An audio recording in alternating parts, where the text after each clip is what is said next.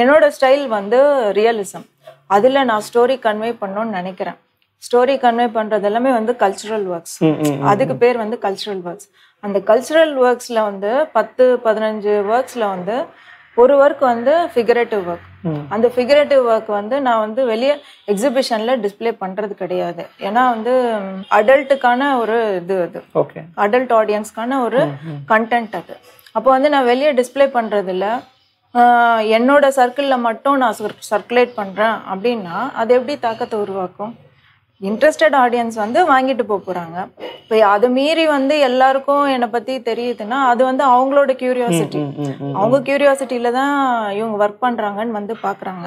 நிறைய வந்து யங்ஸ்டர்ஸ் வந்து அதை ரொம்ப லைட்டா எடுத்துக்கிறாங்க. அப்படின்னு கலை. அப்படிங்கிறது தான் பார்க்கக்கூடிய பார்வை அதிகமாயிருக்கு. ஆமா. இன்னொன்னு வந்து எனக்கு யங்ஸ்டர்ஸ்ல இருந்து ரொம்ப ஹராஸ்மெண்ட் வர்றது கிடையாது. எல்லாமே வந்து பெரியவங்க கிட்ட இருந்து தான் வருது. தேர்ட்டி தேர்ட்டி ஃபைவ் ஹராஸ்மெண்ட் வந்திருக்கு.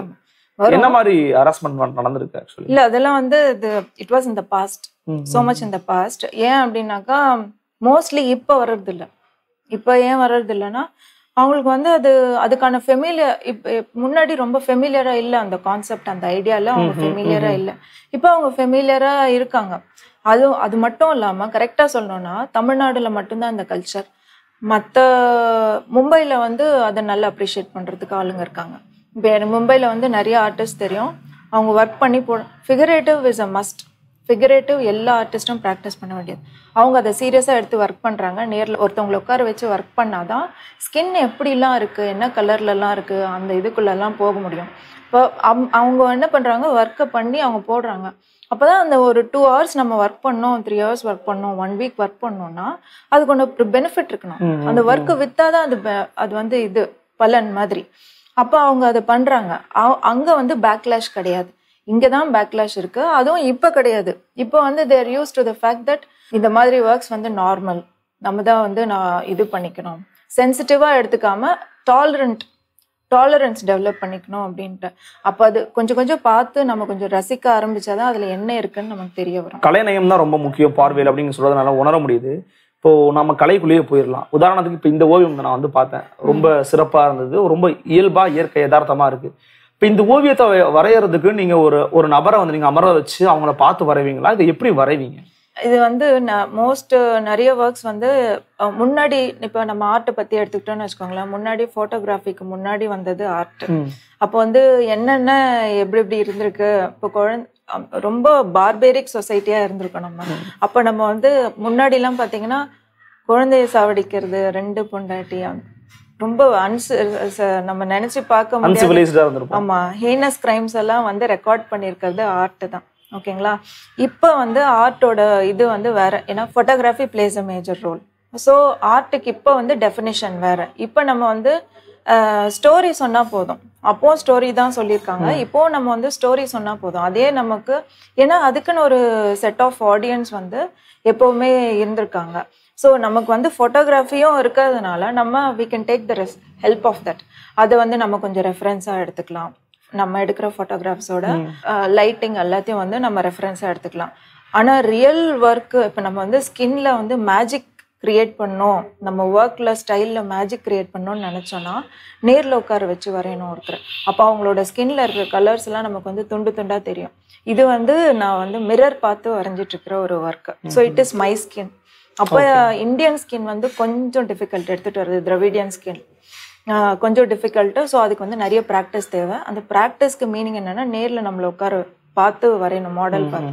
ஸோ செல்ஃப் மாடல் ஏன்னா இது ஒர்க் வந்து எனக்கு புரிஞ்சிருச்சு ரொம்ப டைம் ஆகும் முடிக்கிறதுக்குன்ட்டு. So self model work from mirror இப்போ நீங்க வந்து வரைந்த சில ஓவியங்களை நான் பார்த்தேன். உதாரணத்திற்கு குஷ்பு மேடம் மேடம் வந்து நீங்க ஒரு தடவை வரைஞ்சிருந்தீங்க.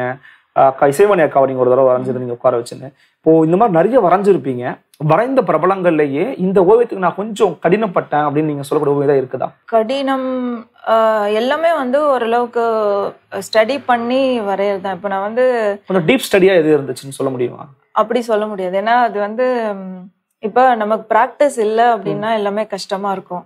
ப்ராக்டிஸ் வந்து நிறைய பண்ணிட்டு இருக்கேன். போன வருஷத்துக்கு போன வருஷம் பூரா போன வருஷத்துக்கு முந்தின வருஷம் பூரா வந்து பென்சில் டிராயிங் தான்.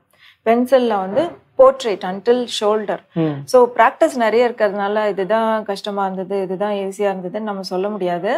ஏன்னா ஃபர்ஸ்ட் ஹாஃப் அன் ஹவர் வந்து இது process is very simple first half an hour வந்து பிளேஸ்மெண்ட் ஃபீச்சர்ஸ் எல்லாம் placement second one hour one and half hour வந்து பர்ஃபெக்ஷன் நமக்கு அந்த ஆர்டிஸ்டோட ரிசம்பிளன்ஸ் வர வர நம்ம வந்து பெர்ஃபெக்ட் பண்ணோம் அதுதான் ஓவியம். அவ்வளவுதான். ஸோ அதனால நம்ம வந்து ஹார்ட் ஒர்க்கு ரொம்ப ஸ்ட்ரெயின்லாம் அதாவது ரொம்ப ஈஸியா வரைஞ்சிட்டேன்னு சொல்ல முடியாது. ரொம்ப கஷ்டப்பட்டேன்னு சொல்ல முடியாது ஆமா கஷ்ட கண்டிப்பா கஷ்டப்பட்டேன்னு சொல்ல முடியாது. இட் இஸ் அ ப்ராசஸ் அந்த ப்ராசஸ் படி நம்ம கரெக்டா போனோம்னா முடிஞ்ச அளவுக்கு ரிசம்பிளன்ஸ் கொண்டு வந்துடலாம் அது எந்த இலக்கு நோக்கி ரம்யா பயணிச்சுக்கிட்டு இருக்காங்க?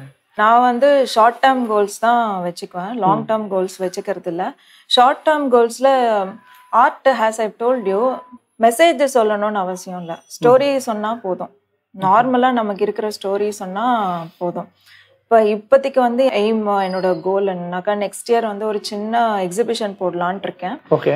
ஒரு eight to ten works including ஒரு eight to ten works normal ஒரு ரெண்டு லெஸ்பியன் இது பார்ட்னர் லவ் பார்ட்னர்ஸ் இருந்தால் அவங்களோட நார்மல் லைஃப் ஸ்டைல் எப்படி இருக்கும்? ஒரு ஒன் ஒரு ஒன் டே டூ டேஸ்க்கு அவங்களோட லைஃப் ஸ்டைல் எப்படி இருக்கும்? அப்படின்னு just a small attempt to normalise அவங்களோட லிவிங் கண்டிஷனை இங்கே நார்மலைஸ் பண்ணுறோம் ஒரு சின்ன ஒரு ஜாலியான ஒரு எக்ஸிபிஷன் மாதிரி. நாட் ரொம்ப சீரியஸாக இருக்காது. I mean it is a serious exhibition but then அவங்களுடைய இது கஷ்டப்படுற இது அதெல்லாம் காட்டணுன்றது இல்லை. ஜாலியாக அவங்க இருந்தால் எப்படி இருக்கும்? அப்படின்றத காட்டுற மாதிரி. இப்போதைக்கு ஒரு ஷார்ட் டேர்ம் கூட தான் ஆமா கண்டிப்பா ஷார்ட் நிறைய விஷயங்கள் வந்து முகநூல்ல வந்து நம்மளால பார்க்க முடியுது. நிறைய பேர் கருத்தியல் சுதந்திரத்தை நிறைய கொடுக்கறதுனால நிறைய நிறைய பேர் பேசுறாங்க. இப்போ நீங்க சொல்லக்கூடிய நார்மலைசிங் லெஸ்பியன் அப்படிங்கிறது எல்ஜிபிடி நம்ம நார்மலைஸ் பண்ணணும் அப்படிங்கிறது தான் அவங்க அவங்க அவங்களுக்கும் எல்லோரும் போல சுதந்திரம் இருக்கு. அவங்களும் சாதாரண நபர்களா பார்க்கணும் அப்படிங்கிறது தான் அடிப்படை நோக்கம். நார்மலைசிங் நியூடிட்டின்னு பேசுறது நார்மலைசிங் மற்ற விஷயங்கள் பேசுறது அப்படிங்கிறத ஒரு ஓவியரா நீங்க எப்படி பாக்குறீங்க அது எனக்கு நான் ஆக்சுவலா இப்போ வரைக்கும் கூட நார்மலான்றது ஃபன்னியா தான் இருக்கு. ரொம்ப சிரிப்பா தான் இருக்கு. இன்னும் எல்லாமே நார்மலைஸ் பண்ணி ஆகணும் நிறைய விஷயத்த எதுவுமே க்ளோரிஃபை பண்ணவே கூடாது. எதையுமே டிவைனா ஒரு அந்த ஸ்பேஸ்ல வந்து வைக்கவே கூடாது. இப்போ பெண்கள்னா ரொம்ப இது அவங்க வந்து அவங்களால இது பண்ண முடியும் அது பண்ண முடியும். யார் யாரால என்னென்ன பண்ண முடியுன்றத அவங்கவுங்க டிசைட் பண்ணிக்குவாங்க. அவங்கவுங்க ஹெல்த் கண்டிஷன் வச்சு அவங்க கெப்பாசிட்டி வச்சு அவங்க வில்லிங்னஸ் வச்சு அவங்க டிசைட் பண்ணிக்குவாங்க. ஸோ எல்லாத்தையுமே வந்து நார்மலைஸ் பண்ணணும். எல்ஜிபிடி இது வந்து இன்னும் நார்மலைஸ் ஆகாமல் இருக்கிறது நம்ம சிஸ் ஹெட்ரோசெக்ஷுவல்ஸாக நமக்கு வந்து ரொம்ப அது வந்து இன்சென்சிட்டிவ் இஷ்யூ அது. வெளியேந்து பார்க்கறதுக்கு ரொம்ப இன்சென்சிட்டிவ் இஷ்யூ அவங்களோட ஸ்ட்ரகிள் என்னன்றதை அவங்கள போய் கேட்டு கேட்கக்கூடாது. ஒரு ரெண்டு நாள் அவங்க கூட ஸ்பெண்ட் பண்ணி பார்த்தா தான் தெரியும். ஸ்பெண்ட் பண்ணாதான் தெரியும். இப்போ எனக்கு தெரிஞ்ச ஒருத்தவங்க சொன்னாங்க அந்த அந்த இவங்க வந்து ஒரு திருநங்கை. அவங்க என்ன சொன்னாங்க நாங்களும் உங்களை மாதிரி தான் டேக்ஸ் பே பண்ணுறோம் ஒரு பார்லிஜி பிஸ்கெட் வாங்கினா ஜிஎஸ்டி நாங்கள் தான் அதே தான் பே பண்ணுறோம் எங்களை மட்டும் ஏன் மதிக்க மாட்டேங்கிறாங்க. ஒரு சிம்பிள் கொஸ்டின் அவங்களுக்கு ஒரு ரைட் இல்லையா? வாழ்கிறதுக்கு நம்மளை மாதிரி சுயமரியாதையோடு வாழ்கிறதுக்கு அவங்களுக்கு ஒரு ரைட் இல்லையா? அப்போ எல்லாத்தையும் நார்மலைஸ் பண்ணி தான் ஆகணும். இன்னமும் நார்மலைஸ் பண்ணாமல் இருக்கிறதே எனக்கு வந்து ரொம்ப க கஷ்டமாகவும் சிரிப்பாகவும் தான் இருக்குது சிவிலைஸ் ஆகலைன்னு தான் நம்ம சொசைட்டின்னு தெரிய வருது.